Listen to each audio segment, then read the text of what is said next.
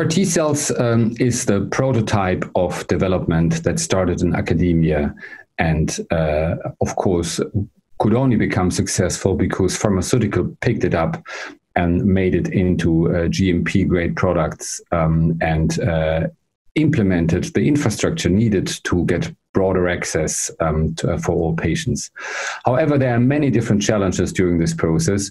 On the one hand, on the type of innovation, because innovation is manifold, and uh, once uh, such uh, a drug enters um, uh, late phase uh, clinical testing, usually companies get only interested in one compound.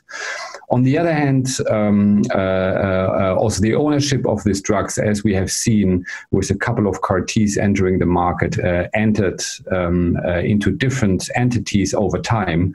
So, meaning from our perspective, for example, if we discuss um, uh, CAR T uh, registry data, um, we repetitively need uh, to discuss with different owners um, again the very same topic.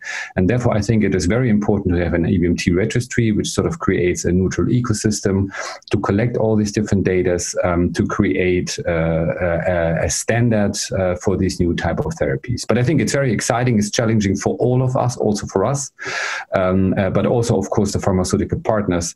And uh, we created uh, a Go CAR T community to better understand each other because, of course, we are coming from complete different angles.